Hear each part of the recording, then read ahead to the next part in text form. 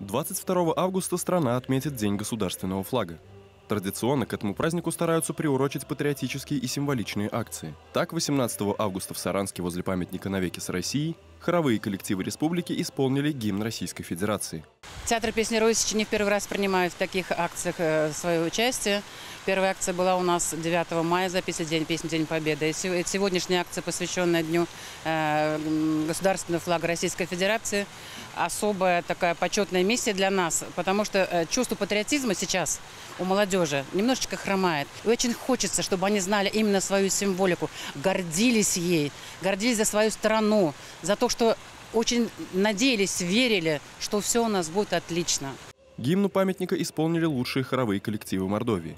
Росичи, Умарина, Келу и камерный хор республики в едином патриотическом порыве передали огромный заряд гордости за свою родину. Моментом прониклись, эмоции исполнителей буквально захлестывали.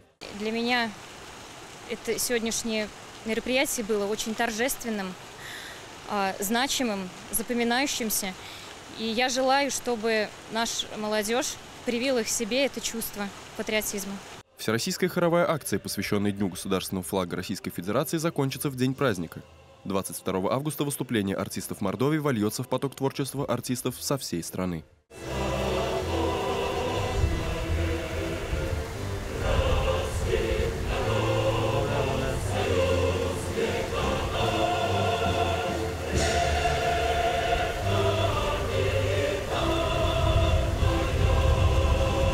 Артем Комаров, Сергей Соколов, Даниил Тюрин, Сергей Куакин. Народные новости.